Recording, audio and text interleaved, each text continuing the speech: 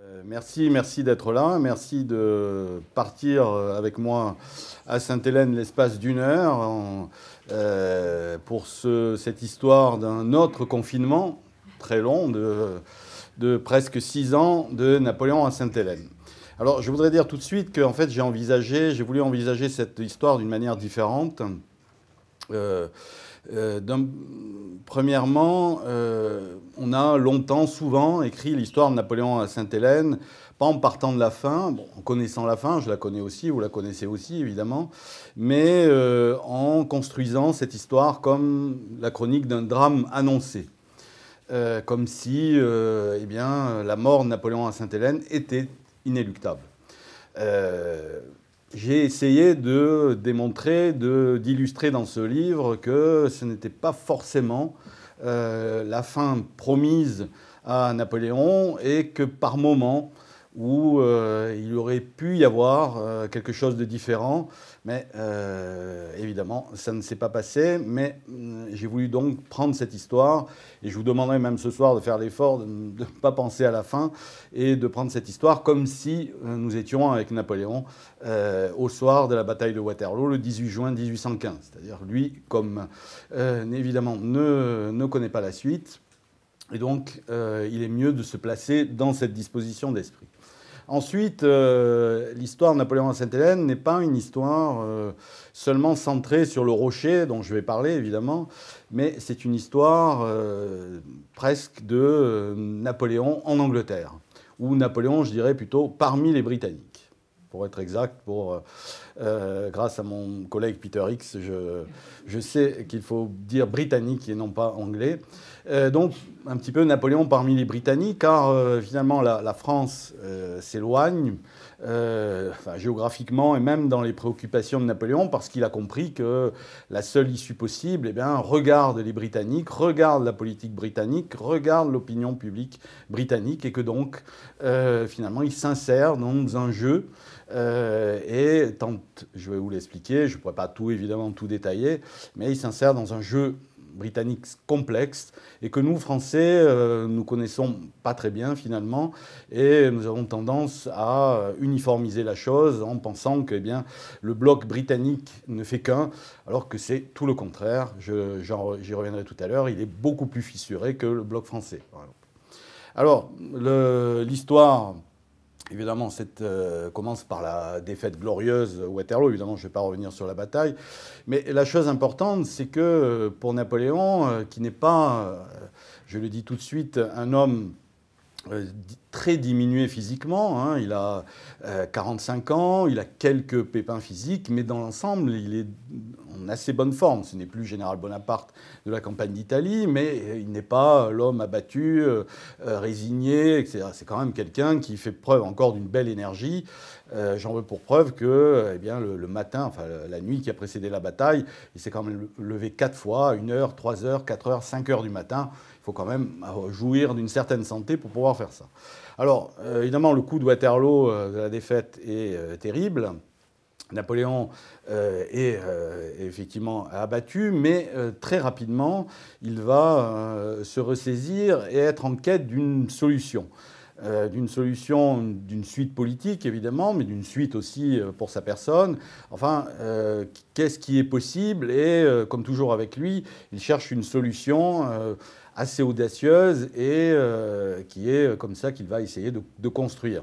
Alors comme il a reçu ce coup de massue, évidemment qu'il euh, perd un peu pied et, euh, vous le savez, politiquement, il va perdre la partie. Un, homme de l'ombre, Fouché, hein, qui rêvait de prendre la lumière depuis longtemps, est en train d'essayer de, le faire sortir du jeu politique, qui parviendra à le faire sortir du jeu. Tout en euh, euh, s'approchant des Bourbons. Hein. Fouché va être comme ça un petit peu sur le fil du rasoir. C'est un autre, ce serait une autre conférence, mais voilà, il va parvenir à ses fins et euh, arriver progressivement éloigner Napoléon, tout en ne le faisant pas partir non plus trop vite, parce que voilà, il faut qu'il se montre comme l'homme capable de maîtriser la France à ce moment-là, et donc un homme qui est voilà, capable de maîtriser Napoléon, justement, pour pouvoir, entre guillemets, se vendre à Louis XVIII au bras de Talleyrand comme vous le savez, euh, vous connaissez la phrase de Chateaubriand. Alors, le, dans ce jeu, euh, lui, Napoléon, au départ, euh, euh, eh bien, va envisager plusieurs solutions. Une abdication en faveur de son fils, qui ne se fera pas. puis, à des moments, il veut même redevenir général pour remporter des victoires et conforter le, gouvernement de Fouché. Et puis, vient assez rapidement, là...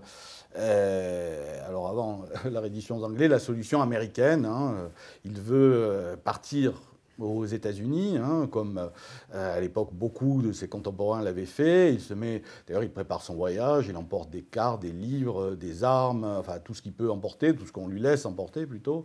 Et euh, comme ça, avec un, disons un état-major et euh, un entourage assez important encore, il part pour Rochefort où le gouvernement provisoire lui a promis deux frégates. Ces deux frégates s'appellent la Salle et la Méduse. La Méduse euh, le navire qui coulera l'année suivante près des côtes africaines, hein, qui donnera le fameux tableau de Jéricho.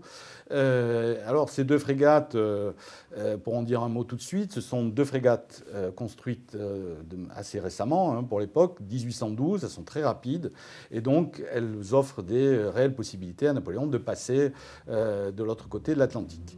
Euh, seulement, euh, il y a euh, la croisière anglaise et notamment le Bellérophon, commandé par le capitaine Maitland, qui bloque les accès à la rade de Rochefort.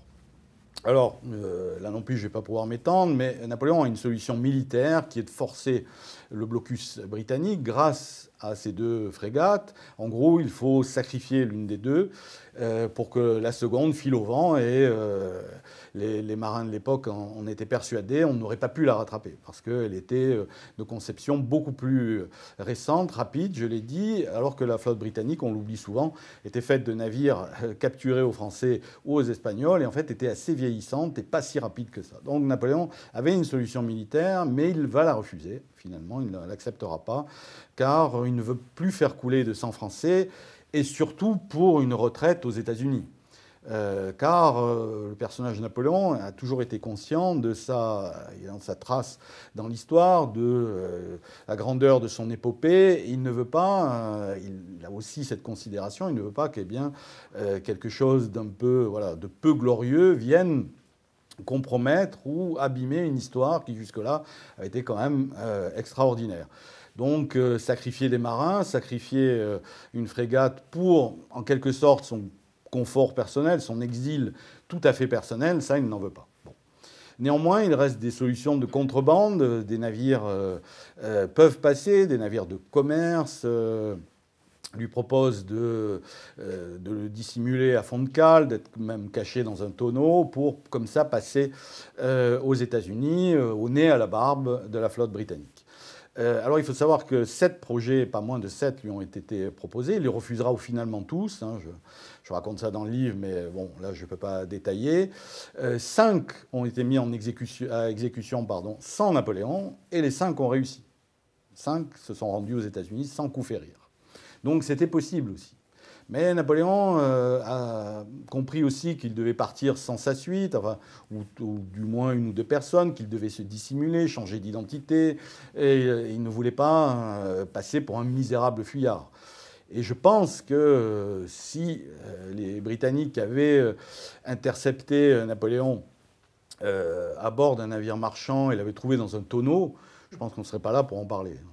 Très sincèrement, il aurait compromis tout ce qu'il avait fait auparavant, enfin pas tout, mais disons, la fin aurait été un peu piteuse, disons. Donc il refuse aussi, et il va décider, la solution finalement la plus audacieuse, c'est se rendre aux Britanniques au euh, capitaine Maitland euh, et euh, ainsi, finalement, il va vouloir obliger son plus vieil adversaire, par ce geste chevaleresque, à le traiter dignement.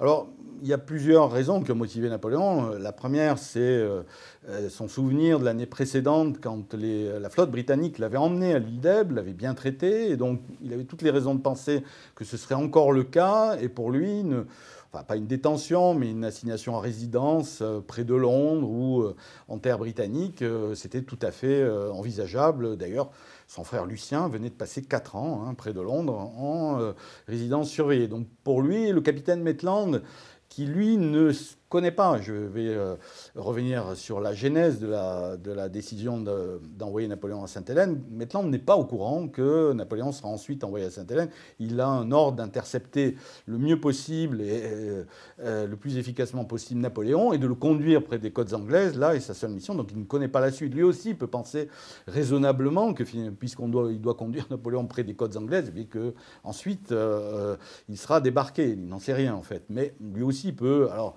dira qu'il euh, a aussi tenté de rassurer euh, ses interlocuteurs, qui étaient Lascaz notamment, euh, dans ce but en disant oui, Napoléon, je pense, oui, devrait être bien accueilli en Angleterre. En tout cas, il le sera sur mon vaisseau et sans doute ensuite. En fait, il n'en sait rien, mais comme il le dira plus tard hein, dans sa relation, il dira j'avais guère le choix puisque militairement j'étais perdant. Donc j'ai euh, voilà, euh, j'ai finalement joué toutes les cartes qui étaient à ma disposition et j'ai rassuré Napoléon, mais je rappelle qu'il ne connaît pas euh, la décision déjà prise par un certain Premier ministre britannique d'envoyer Napoléon à Sainte-Hélène. Alors, Napoléon euh, écrit cette fameuse lettre au prince régent, hein, le prince régent, le futur euh, Georges IV. Hein, euh, son père, Georges III, est atteint de démence, et donc c'est lui qui a la, son fils qui a la régence. Napoléon lui écrit Je viens comme Thémistocle m'asseoir au sein du foyer du peuple britannique.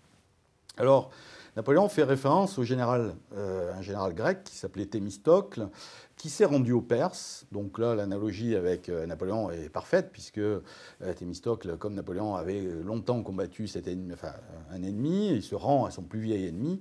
Mais ce qu'on ignore, c'est que, généralement, c'est que Thémistocle s'est mis au service des Perses ensuite, a administré des provinces de, leur empire et a même euh, dirigé leurs armées ce langage-là n'est pas innocent. Si Napoléon choisit la figure de Thémistocle, à l'époque, euh, l'Antiquité, les figures antiques sont connues comme euh, nous, nous connaîtrions euh, les acteurs d'aujourd'hui. Hein, ceux de la nouvelle vague, hélas disparus récemment, mais Jean-Paul Belmondo, je veux dire, voilà, pour eux, c'est un, si je puis dire, une grammaire, quelque chose de très connu. Donc quand on parle de Thémistocle, on, on connaît son histoire de A à Z, assez bien en tout cas. Donc, que Napoléon, euh, est-ce que Napoléon leur a fait presque une offre de service déguisé? C'est possible. Napoléon était un personnage imprévisible, je ne peux pas l'affirmer, mais bon, euh, c'est tout de même curieux qu'il ait, euh, voulu invoquer cette figure historique qui est connotée. Alors, mais le problème, c'est que, ce faisant, il a encore renforcé les craintes des Britanniques sur sa personne. En disant cela, euh, finalement, il montre qu'il est totalement imprévisible, que c'est quelqu'un qui est finalement totalement hors de contrôle et qui est capable de tout, euh, est capable de tout proposer, mais de tout exécuter. Il faut savoir que depuis, bon, déjà, évidemment, toute son épopée, depuis la campagne d'Italie, il est craint, redouté par les puissances européennes, par les, Britanniques. Mais alors, depuis le retour de l'île d'Elbe, qui est considéré comme une chose totalement incroyable et presque surnaturelle, euh, il est devenu euh, l'homme à abattre. Hein. je rappelle que le traité de la quadruple alliance euh, déclare la guerre non pas à la France, hein, c'est le traité de 25 mars de la Prusse, de la Russie, l'Autriche et l'Angleterre, qui déclare non pas la guerre à la France, mais à un seul homme, à Napoléon Bonaparte qui est déclaré comme le perturbateur du repos du monde. Comme, euh, étant donné qu'ils veulent dormir tous tranquilles, il y en a un qui les réveille sans arrêt, donc il faut le mettre hors d'état de nuire. Et en fait, ces puissances ont juré, enfin signé, euh, attesté, et beaucoup d'autres ensuite avec elles, que, eh ne poseraient les armes qu'une fois Napoléon véritablement neutralisé. Donc, c'est pas ce que ça veut dire mis hors d'état de nuire, hein, exactement. Euh, mais ça fait un peu penser à ce qu'on avait dans le Far West, euh, Wanted Napoléon, Dead or Alive, hein, c'est ça, hein, avec une prime, parce qu'il y avait des contreparties financières, etc. Mais c'est une chasse à l'homme, en fait. Et donc, euh, euh, les, puissances alliées n'ont pas changé d'avis, hein, même après l'avoir défait à Waterloo, c'est même tout le contraire. Et euh, depuis le 25 mars, ils sont encore plus décidés à le mettre hors d'état de nuire, et surtout le gouvernement britannique. Alors, le, là, j'introduis un personnage qui est finalement le, la personne qui a décidé de l'envoi de Napoléon à Sainte-Hélène. Il s'agit de Lord Liverpool, qui est le Premier ministre britannique à l'époque. Il l'est depuis 1812. Pardon. Euh, il a succédé à Spencer Perceval, hein, pardon mon accent, qui a été assassiné pour euh, des raisons obscures, mais euh, il lui a succédé. Il faut savoir que Lord Liverpool est un ultra, un ultra conservateur qui déteste la France, qui déteste la Révolution française et qui déteste Napoléon. C'est lui qui va prendre cette décision quasiment tout seul, on le voit dans sa correspondance hein, qui a été publiée, parce que, je vais vous donner ces trois raisons qu'il énonce très clairement. La première, il dit, eh bien, nous devons, nous les Britanniques, nous saisir de cette affaire parce que nos, alliés, on sait très bien qu'ils ne sont pas fiables. La preuve, l'année précédente, la Russie a envoyé Napoléon à l'île d'Elbe. Vous voyez, ce qui s'est passé. La Prusse et l'Autriche, euh, ils, ne, leur font pas beaucoup confiance non plus. Il faut savoir que les Britanniques n'ont jamais eu confiance en leurs alliés. Euh, et pour cause, euh, leurs alliés les, ayant trahi les Britanniques à de nombreuses reprises. Hein. Donc ils n'ont aucune confiance. Donc déjà, premier point, nous allons nous occuper du cas de Napoléon tout seul. Ça, c'est la première chose.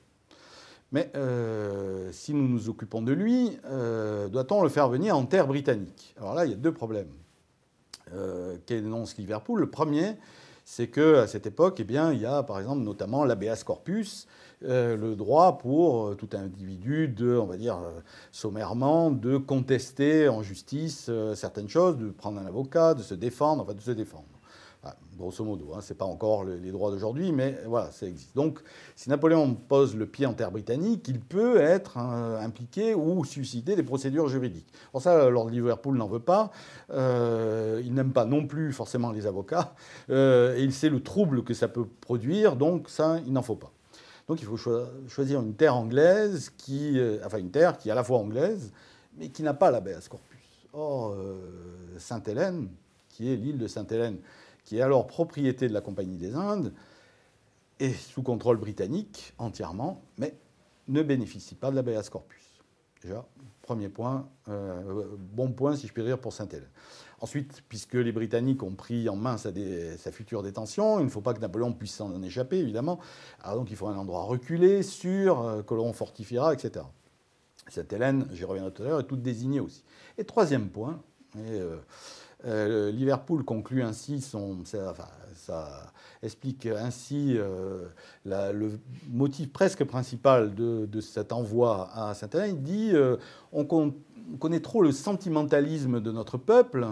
S'il est en terre britannique, il va assez rapidement passer pour un martyr et voilà, ça risque, il risque de susciter l'émotion et nous risquons à nouveau aussi d'être ennuyés. Alors que, eh bien, quand on va l'envoyer à Sainte-Hélène, euh, eh bien, c'est tellement loin que finalement, d'abord, il ne pourra pas communiquer et on va l'oublier assez vite.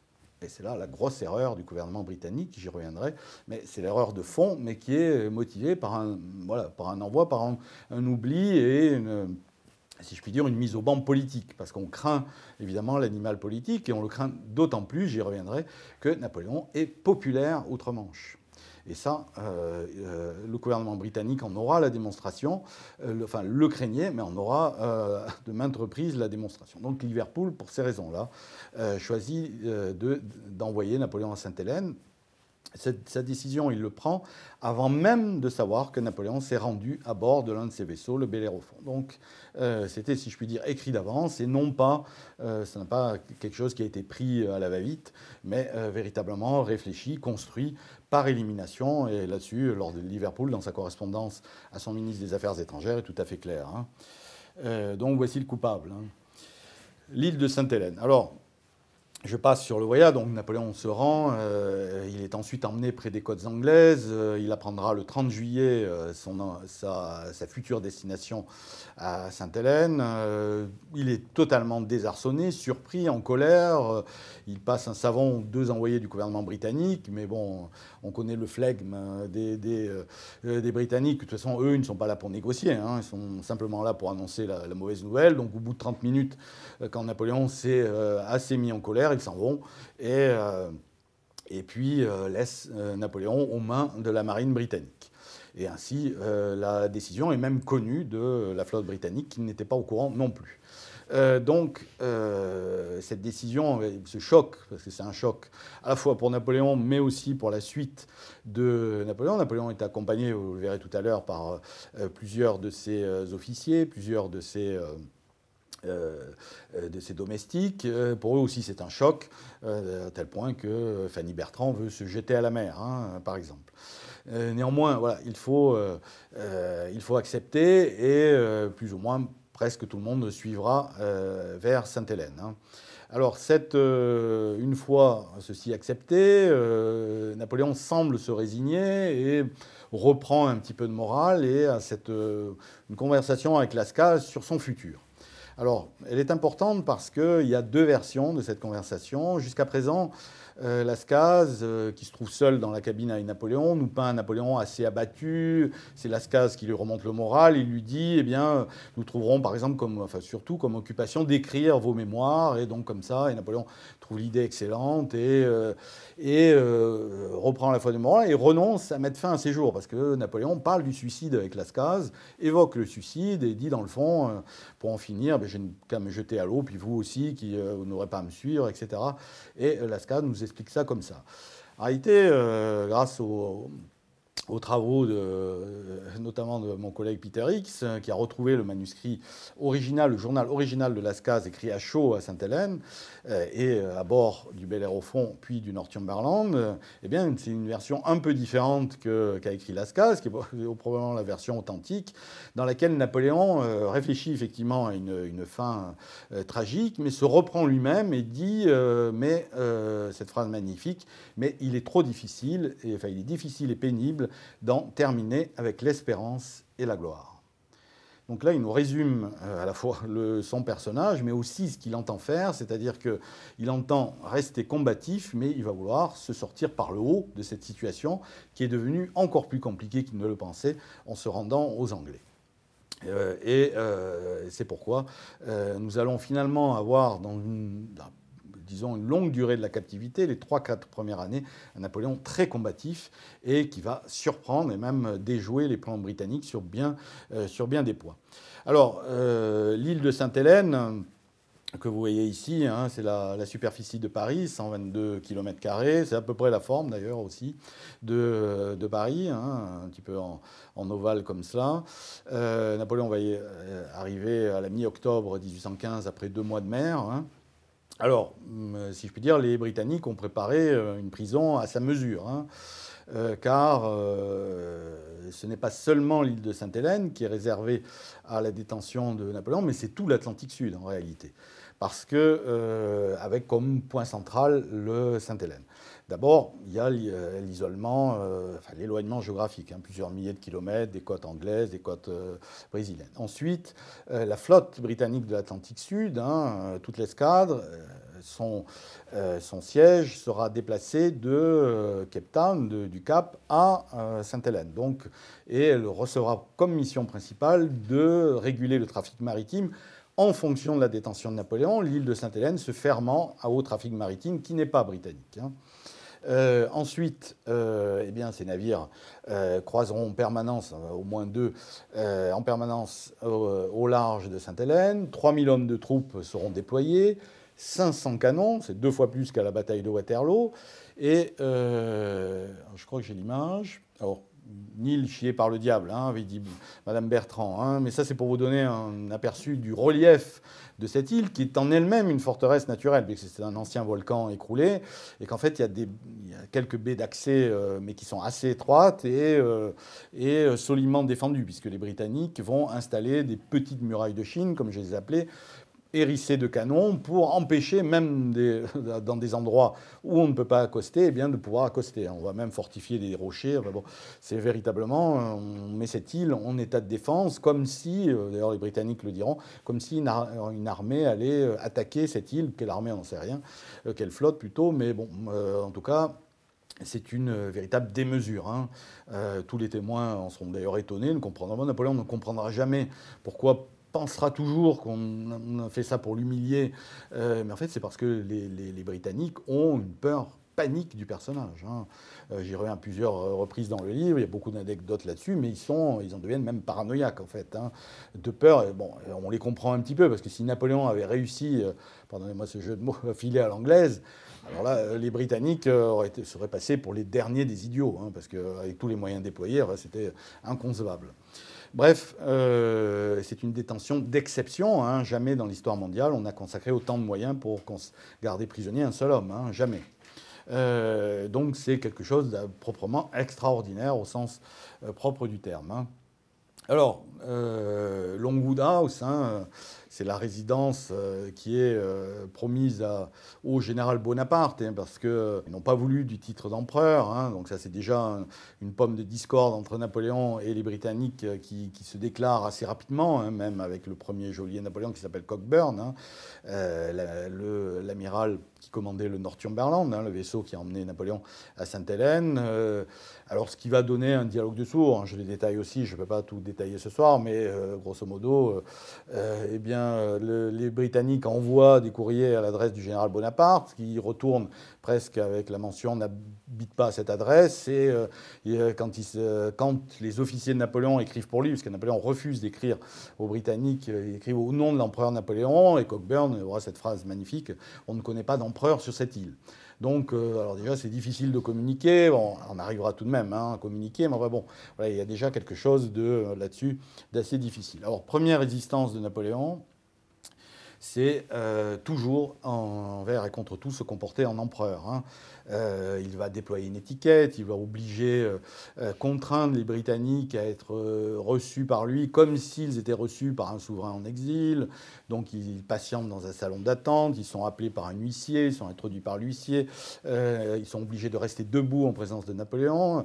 Alors une fois Cockburn s'était assis, donc pour obliger les Britanniques à rester debout, Napoléon restait debout et ses officiers avec lui. Donc évidemment, vous n'allez pas vous asseoir devant lui. Donc eh bien, toutes les entrevues de Napoléon, il y en a eu des centaines, euh, euh, se sont passés debout. Et même, d'ailleurs, euh, Napoléon, si je puis dire, poussera le vice à obliger ses officiers à rester debout, même quand euh, les Britanniques ne sont pas là, quand ils ne reçoivent pas. Donc, ce qui fait qu'ils vont passer de longues soirées, de longues journées debout. Alors, quand ils travaillent avec lui, ils s'assoient. Quand ils jouent avec lui aux échecs, ils s'assoient aussi. Mais euh, Montolon, Bertrand, Gourgaud passeront ainsi de longues heures à être debout.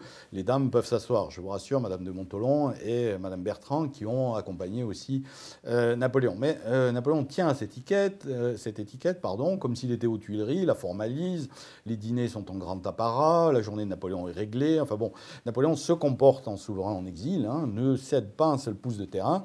Et finalement, qui cède en face de lui? Eh ben, Les Britanniques, puisque euh, en réalité, euh, euh, même s'ils font mine qu'il n'y ait pas d'empereur, ils se comportent comme s'il était un empereur. Hein. Les audiences sont organisé conjointement entre le grand maréchal Bertrand et euh, le gouverneur. Ce sera évidemment Hudson Law ensuite.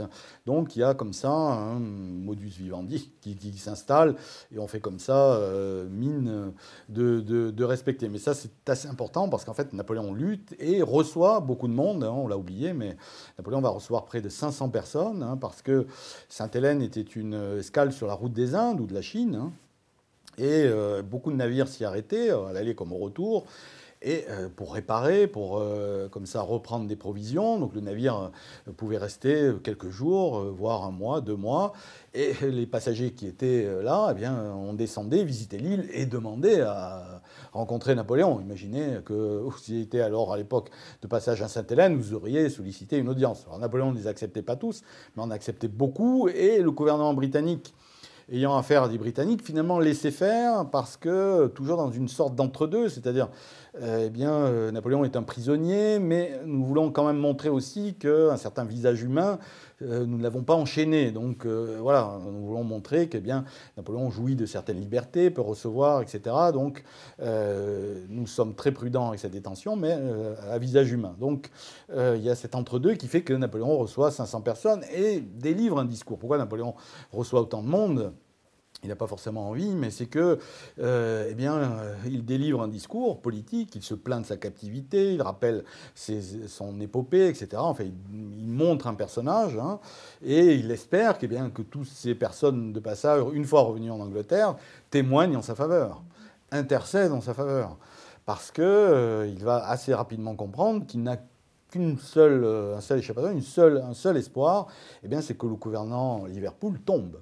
Et euh, en Angleterre, euh, effectivement, les, gouvernements euh, conservateurs, Tories, ont des opposants, les Whigs, hein, les libéraux, Et euh, les Whigs et les libéraux euh, penchent pour euh, Napoléon. Hein.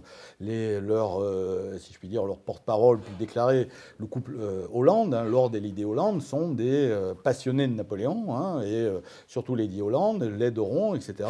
Lord Hollande intervient à la Chambre pour, Napoléon. Enfin bon, il y a, un mouvement, a un mouvement, j'y reviendrai aussi dans l'opinion. Enfin, donc, eh bien, que le gouvernement Liverpool tombe, ce n'est pas quelque chose d'inenvisageable. Et donc euh, Napoléon pense que, eh bien, euh, finalement, s'il appuie euh, ceux qui l'appuient en, en, Angleterre et qu'il, comme ça, donne une impulsion, eh bien, peut-être qu'on arrivera à quelque chose. Hein.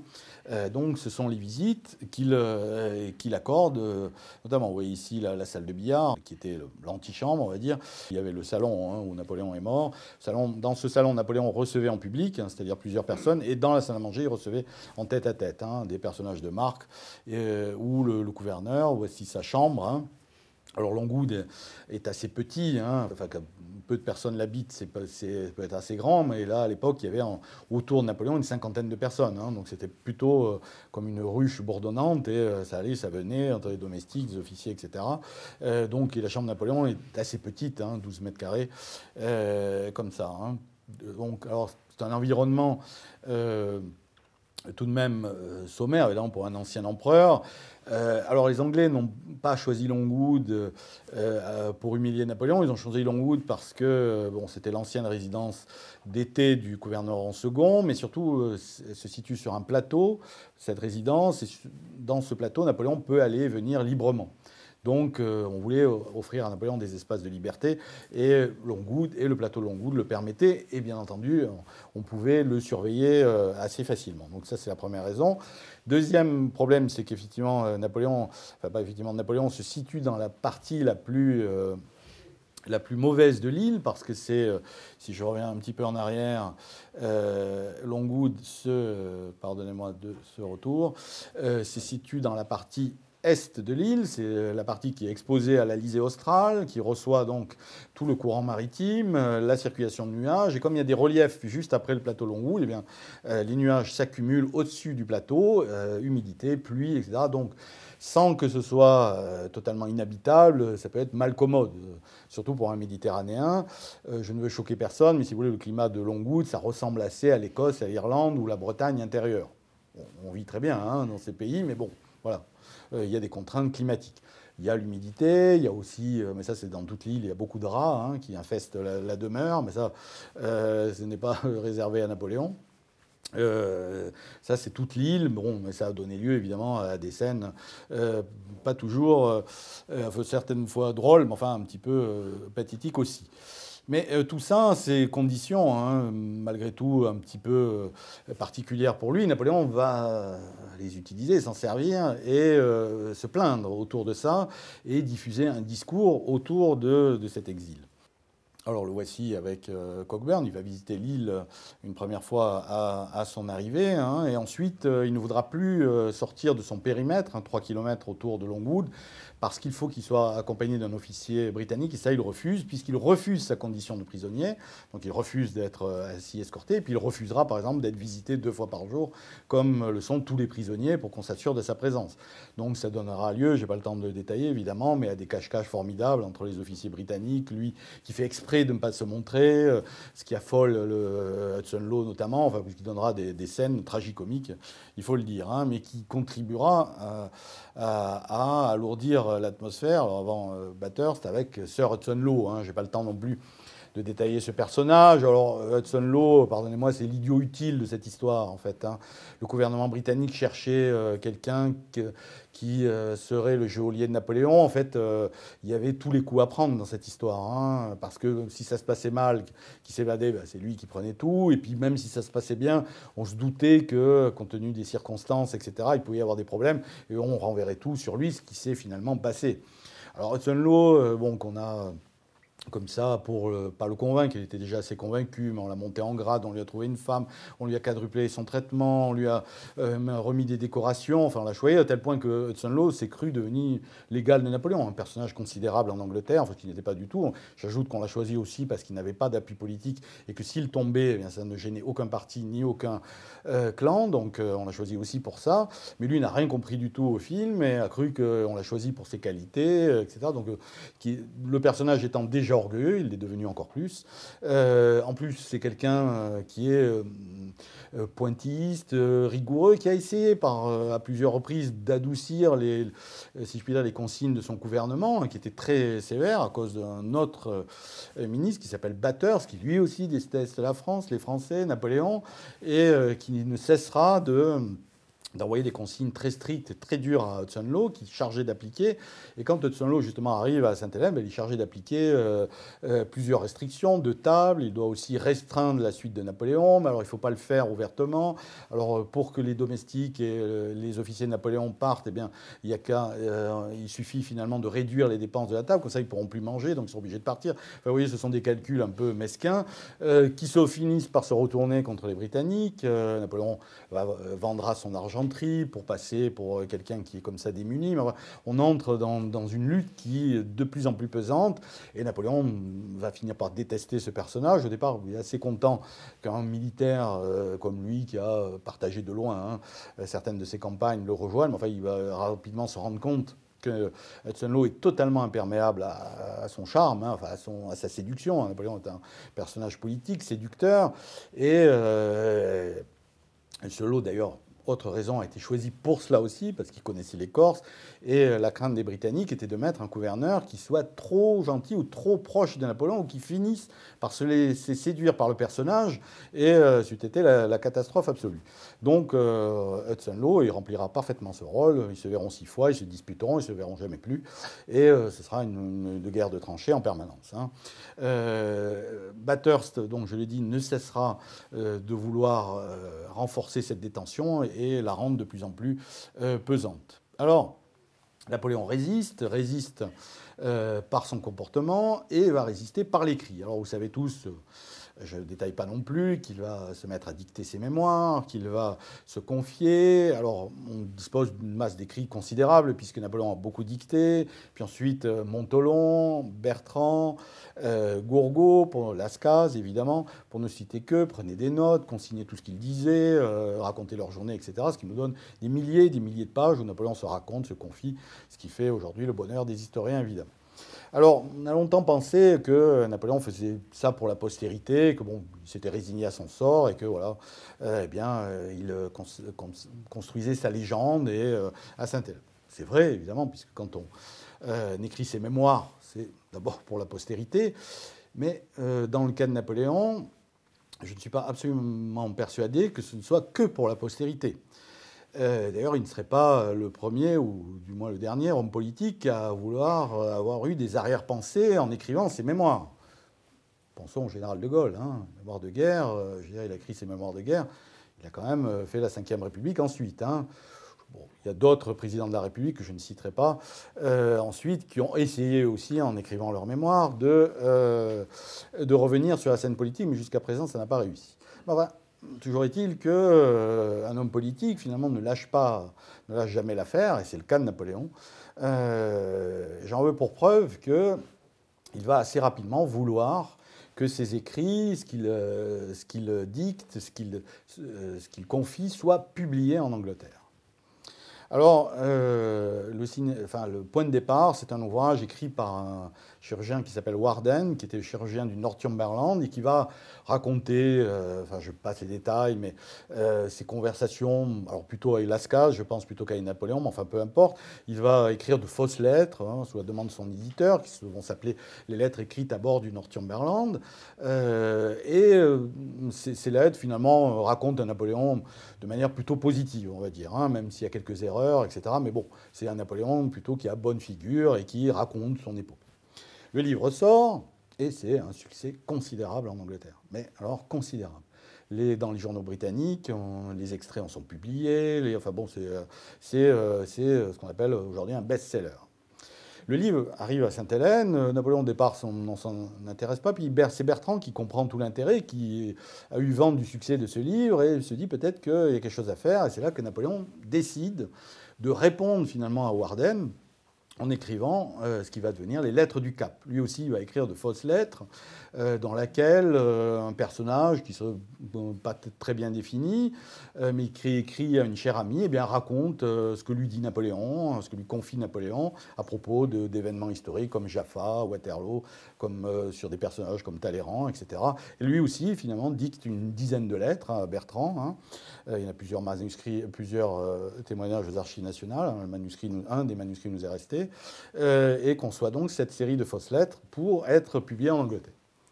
Euh, Napoléon est sous la censure. Vous allez me dire, mais il veut publier, mais bon.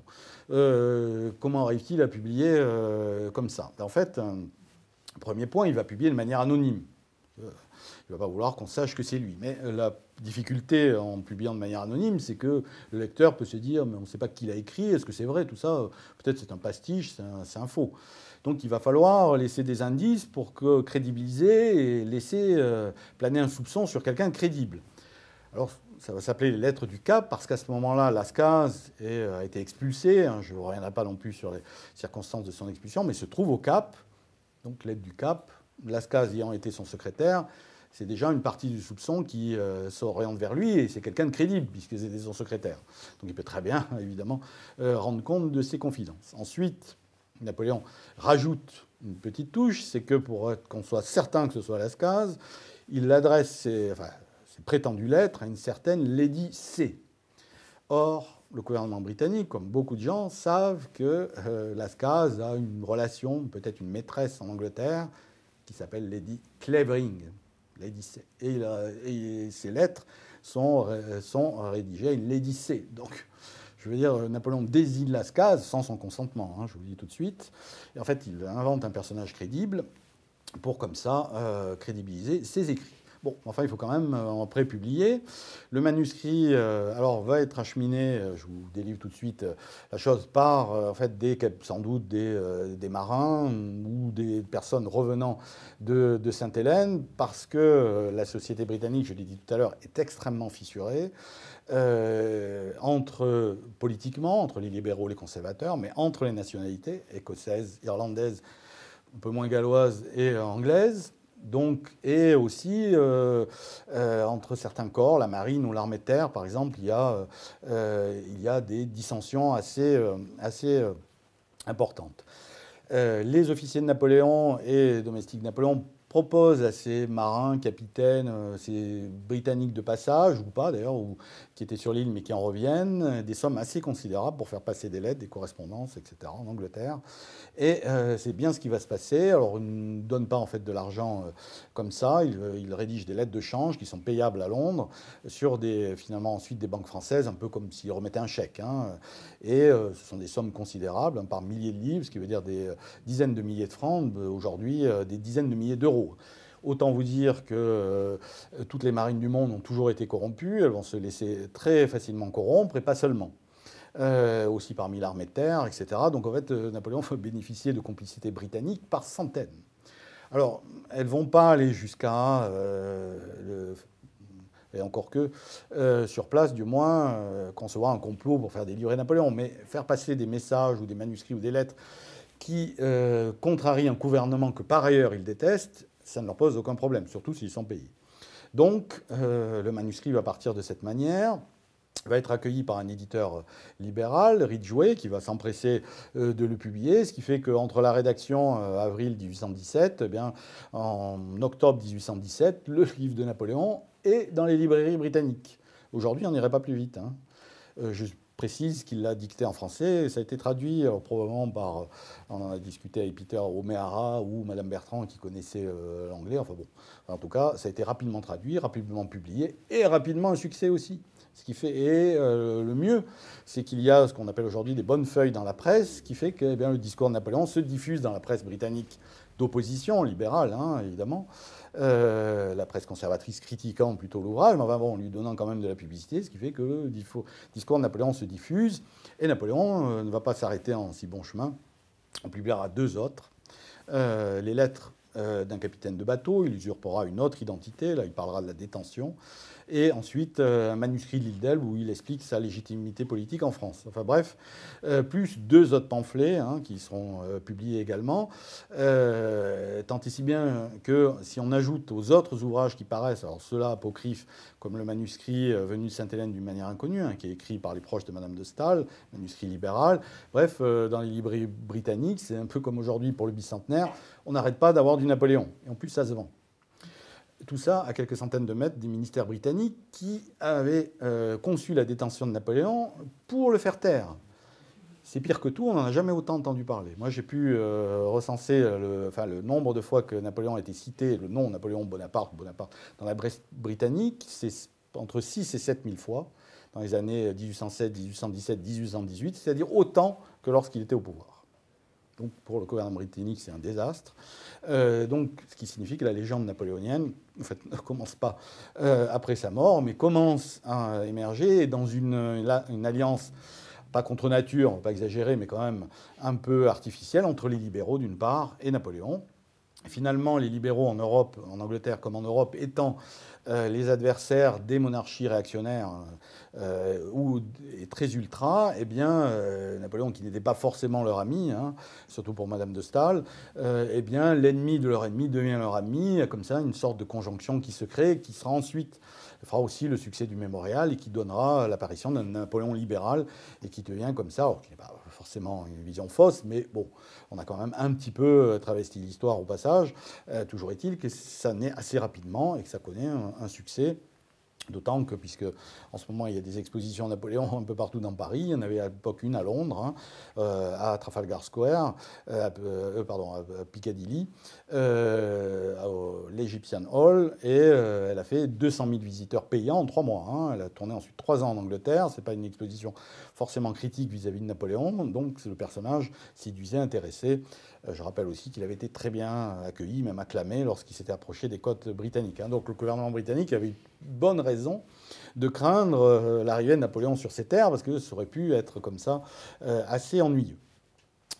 alors, comme, hélas, l'heure avance, je ne pourrais pas détailler euh, tout cela, mais cette, euh, offensive menée par Napoléon, qui le tient environ trois ans, hein, entre euh, l'étiquette, les publications, tout cela, d'ailleurs il, incite tout le monde à, publier, se déroule, toujours ce Napoléon qui voici les lettres du Cap de Bonne-Espérance, hein, en réponse à l'ouvrage de M. Warden.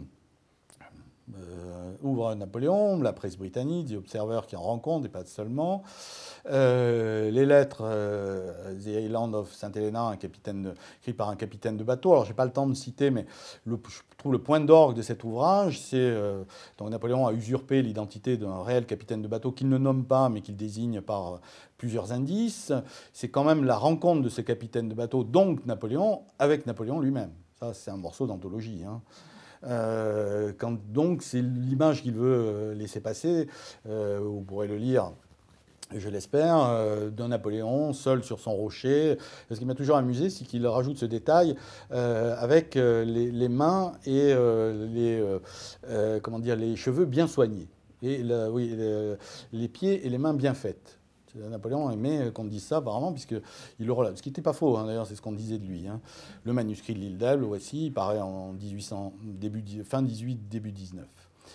Euh, voici l'exposition à Londres qui n'a laissé comme trace que dans les journaux et cette caricature, parce qu'elle était centrée autour de la, berline de Napoléon, qui avait été capturée à Waterloo, euh, euh, offerte au prince régent, qu'il avait vendue à cet entrepreneur, celui qui a organisé l'exposition. Bon, c'est vrai que beaucoup venaient aussi avec, euh, si je puis dire, la morgue du vainqueur, mais plusieurs étaient admiratifs du personnage. Je rappelle donc aussi que Napoléon a été acclamé en rade de Torbay, par exemple, hein, des centaines de canaux sont venus euh, près de lui, les gens l'ont clamé. On ignore qu'il y en a qui se sont approchés tellement près que le canot s'est renversé, il y a eu trois noyés, parce que la, flotte, britannique avait disposé euh, tout un cordon de canaux pour ne pas que ces canaux s'approchent de trop près et finissent par monter sur le navire et porter en triomphe Napoléon, ce qui quand même eût été ennuyeux hein, euh, comme image. Alors, l'enfer, c'est les autres, hein, quand même deux mots. Napoléon sera finalement contrarié dans ses offensives. appuyé la plupart du temps, heureusement, mais aussi contrarié par ses camarades, ses officiers. Vous avez Gourgaud, Montolon, donc Lascaz et Bertrand. Alors je ne peux pas revenir sur tous, mais le problème qui va se dérouler, c'est ce phénomène de cour qui va être assez détestable. Hein. Même petite, une cour devient vite, surtout dans un, ce confinement assez, euh, un huis clos assez oppressant. Napoléon se rapprochera très ostensiblement de Madame de Montolon, que vous voyez ici, ce qui fera enrager le général Gouraud, qui est devenu, qui a perdu la raison, hein, qui est devenu euh, euh, malade, possessif, et qui finira par quitter Napoléon. Napoléon lui demandera de de partir. Le problème, c'est qu'en partant, hein, parce que Gouraud est devenu incontrôlable, hein, il provoque tout le monde en duel, il menace tout le monde. Enfin, il est, il est devenu. Enfin, là aussi, hein, si euh, les officiers de Napoléon s'étaient entretués, euh, l'image n'était quand même pas excellente. Euh, donc, Napoléon lui demande de partir, mais seulement Gourgaud, ivre de jalousie. le problème, c'est qu'il va se répandre en confidence et dire trois choses. Hein. Il va dire que d'abord, Napoléon est en parfaite santé, que donc il ne faut absolument pas écouter ses plaintes, ce qui aura pour conséquence de le laisser à Longwood, hein, parce qu'il y a eu un projet d'Hudson Law de le transférer sur une autre résidence, et bien terminé. Euh, deuxième euh, conséquence, et pas des moindres, le docteur O'Meara, cher au cœur de Peter, hein, un de ces personnages euh, qui était le chirurgien de Northumberland, qui est devenu le médecin de Napoléon, qui s'est lié d'amitié avec Napoléon, lui aussi d'ailleurs nous a laissé un, journal magnifique. Jusqu'à présent, Hudson qui le détestait, n'avait pas réussi à le faire envoyer, et quand on va poser la question à Londres, à Gouraud, en lui disant, et alors O'Meara, c'est qui dans cette histoire?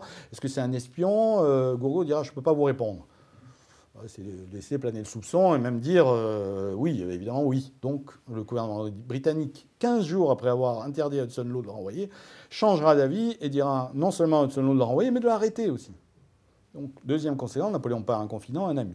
Troisième, euh, troisième conséquence, et pas des moindres, c'est que ces confidences de Gourgaud seront annexés au protocole d'Aix-la-Chapelle, qui est euh, le congrès qui va réunir les puissances après la libération du, pour la libération du territoire français. On invoque Sainte-Hélène. Les puissances alliées sont d'accord pour euh, garder Napoléon à Sainte-Hélène, aux mains des Anglais, et même d'ailleurs de durcir cette détention. Et à l'appui de cette demande ou de cette formulation par Pozzo di Borgo, hein, un vieil ami ennemi de, des Bonaparte, alors au service du tsar, eh bien, euh, Pozzo di Borgo, pour appuyer euh, ses revendications, annexera les dires du général Gouraud en disant, vous voyez, Napoléon joue la comédie, euh, Napoléon bénéficie, il dira aussi qu'il bénéficie de complicité britannique, enfin, vous voyez, il reste dangereux, il est en parfaite santé, donc il faut le garder là-bas et sous bonne garde. Donc Napoléon, les espoirs de Napoléon de sortir de Sainte-Hélène seront seront terminées. J'ajoute que euh, eh bien, Albine de Montolon finira par partir aussi, Gourgaud et Lascaz. Cette série d'abandons affectera euh, moralement Napoléon, surtout Albine, puisque finalement euh, Napoléon, qui était un affectif, perd sa, la, seule présence féminine qu'il pouvait avoir. Madame, de, Madame Bertrand est, est, très distante, a toujours refusé de devenir sa maîtresse. Donc euh, cet éloignement va euh, écouler moralement Napoléon, qui va finir par renoncer et s'enterrer dans Longwood. Il va creuser ses jardins pour se dissimuler aux yeux des Anglais. Enfin, il s'enterre déjà quelque part. Hein. Il ne sort plus Longwood. Et euh, au même moment, sans doute lié aussi hein, à toutes ces épreuves, et ça, euh, nous, en parlerons plus longuement aussi dans le colloque autour de la mort de Napoléon. Les premiers assauts de la maladie se font sentir. Déjà, il avait été euh, en proie à de vives douleurs, mais celle-ci s'aggrave. Le siège du mal, c'est l'estomac, perforé, ulcéré, en proie, cher Alain Golcher, à une gastrite qui est aussi assez, qui le mine. Et petit à petit, Napoléon s'épuise.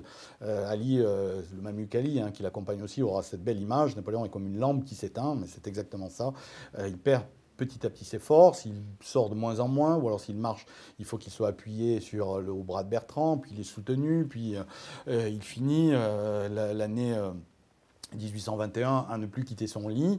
alors jusqu'au mois de mars 1821, hein, il va encore espérer s'en sortir médicalement, il ne sait pas qu'il est condamné, mais euh, il pense encore quitter cette île, puisque quand un navire arrive en mars 1821, un navire qui arrive, ça veut dire des journaux qui arrivent, eh bien, il dit, euh, il entend le canon qui sonne l'arrivée de ce navire, il dit à Bertrand, euh, eh bien, j'ai entendu l'arrivée d'un navire, des, journaux vont arriver, j'en suis, certain, nous rentrons en Europe, le gouvernement Liverpool est tombé.